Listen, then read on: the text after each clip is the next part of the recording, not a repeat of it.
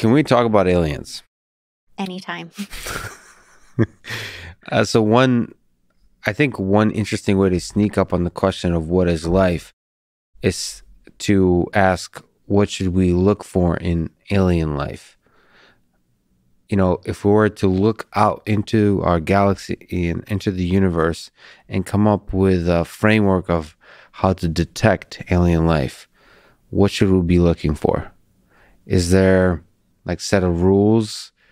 Uh, like it's both the tools and the tools that are serve as sensors for certain kind of properties of life. So, what should we look for in alien life? Yeah. So we have a paper actually coming out on Monday, which is collaboration. Um, it's it's actually really Lee Cronin's lab, but my group worked with him on it, and we're working on the theory, which is this idea that we should look for life um, as high assembly objects. What we mean by that is, um, which is actually observationally measurable, and this is one of the reasons that I started working with Lee on these ideas, is because being a theorist, it's easy to work in a vacuum. It's very hard to connect abstract ideas about the nature of life to anything that's experimentally tractable. Mm-hmm. Um, but what his lab has been able to do is develop this method where they look at a molecule and they break it apart into all, all, its component parts. And so you say you have some elementary building blocks and you can build up all the ways of putting those together to make the original object. Mm-hmm. And then you look for the shortest path in that space. Um, and you say that's sort of the assembly number associated to that object. Um, and if that number is higher, it assumes that a longer causal, causal history is necessary to produce that object, or more information is necessary to specify the creation of that object in the universe. Now, that kind of uh, idea at a superficial level has existed for a long time. That kind of idea as a physical observable of molecules is completely novel. And what his lab's been able to show is that if you look at a bunch of samples of non biological things and biological things, there's this kind of threshold um, of assembly where as far as the experimental evidence is and also your intuitive intuition would suggest that bio, non-biological systems don't produce things with high assembly number. Um, so this goes back to the idea like a protein's not going to spontaneously fluctuate into existence on the surface of mars. It requires an evolutionary process and a biological architecture to produce a protein. You generalize that argument you know a complex molecule or, or a cup or a desk ornament um, in this sort of abstract idea of assembly spaces as being um, the causal history of objects. And you can talk about the shortest path from elementary objects to an object given an elementary set of operations.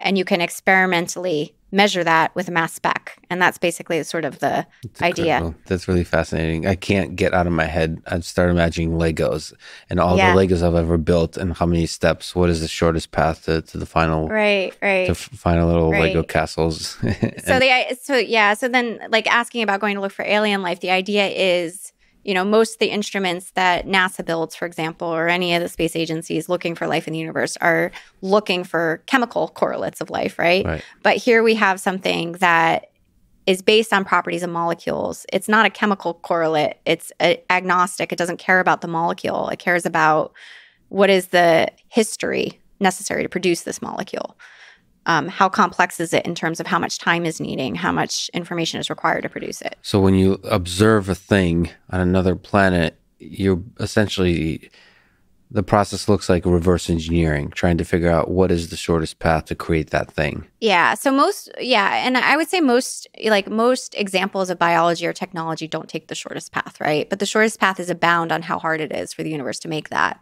Yeah, it's a, and I guess what, what you and Lee are saying that there's a heuristic that's a good metric for uh, like better perhaps than chemical correlates. Yes, because it, it doesn't. It's not contingent on looking for the chemistry of life on Earth on other planets. And it also has a deeper explanatory framework associated to it as far as the kind of theory that we're trying to develop associated to what life is. And I think this is one of the problems I have in my my field personally in astrobiology is people observe something on Earth, say oxygen in the atmosphere or an amino acid in a cell, and then they say, let's go look for that on another planet. Uh, let's look for oxygen on exoplanets, or let's look for amino acids on Mars. And then they assume that's a way of looking for life.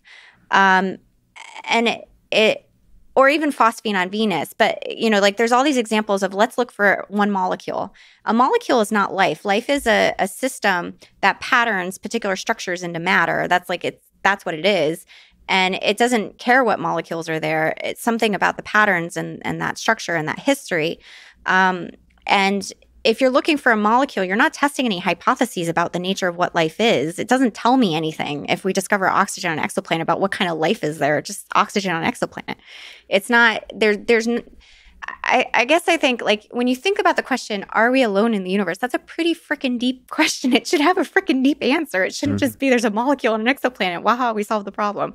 It should tell us something meaningful about our existence. And I feel like we've fallen short on how we're searching for life in terms of actually searching for things like us in this kind of deeper way. But how do you do that initial kind of say I'm walking down the street and I'm looking for that double take test of like like what the hell is that?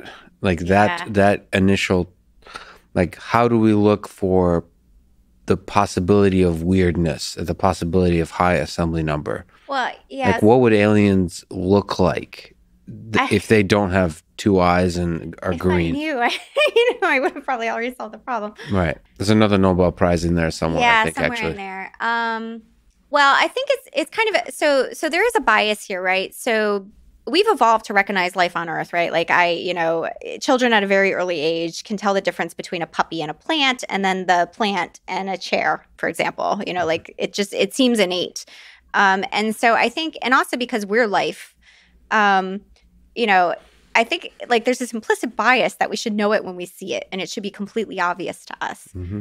Um, but there are a lot of features of our universe uh, that are not completely obvious to us, like the fact that this table is made of atoms and that I'm sitting in a gravitational potential well right now. Um, and I guess um, my point with this is I think life is much less obvious than we think it is. Um, and so it could be in many more forms than we think it is.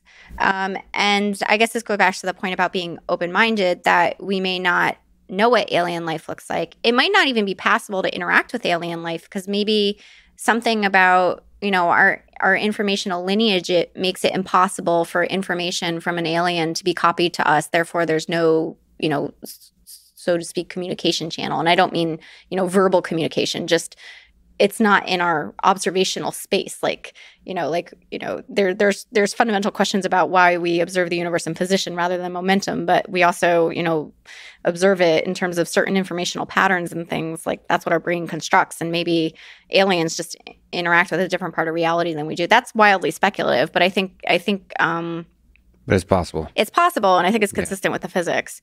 So I think the best ways we can ask questions are about life and chemistry and asking questions about if information is a real physical thing, what would its signatures be in matter? Um, and and how do we recognize those? And I think the ones that are most obvious are the ones I've already articulated. You have these objects that seem completely improbable for the universe to produce because the universe doesn't have the design of that object in the laws. Mm-hmm. So therefore, an object had to evolve. We we talk we call it evolution, but it had to be produced by the universe that then had all of the possible tasks to make that object um, specified. I mean, there's some like there's an engineering question here of are there sensors we can create that can give us a can help us discover certain pockets of high assemblies yeah aliens like i mean there is a hope uh, setting dogs and chairs aside there's a hope that visually and we could detect oh. like because our universe i mean at least the way we look at it now like this three-dimensional like space time we can visually comprehend it it's interesting to think like if we got to hang out you know if there's an alien in this room like would we be able to detect it with our current sensors? Not not the fancy kinds yeah. but but like Let's webcam. standing over there? Yeah standing over there or maybe like in this carpet see there's all these kinds of patterns right? Yeah. Uh, i don't know if if if i don't know if this carpet is an alien. Well so uh, i see what you're saying. Um so assembly theory is pretty general like i mean we've been applying it to molecules because it makes sense to apply it to molecules but it's supposed to explain life um, you know, like the physics of life. So it should explain, you know, the things in this room in addition to molecules. Um, so I guess, uh, and you can apply it to images and things. So I guess the idea, you know, you could explore is just looking at everything on planet Earth in terms of its assembly structure and then looking for things that aren't part of our biological lineage if they have high assembly they might be aliens on earth i mean that that is a very kind of rigorous computer vision question can we visually is there a strong correlation yes. between certain kind of high assembly objects yeah. when they get to the scale where they're visually right. observable and some like when it's say uh, projected onto a 2D plane can we right. can we figure out something right i'm glad you brought up the computer vision point because for a while i had this kind of thought in my mind that we can't even see ourselves clearly so one of the things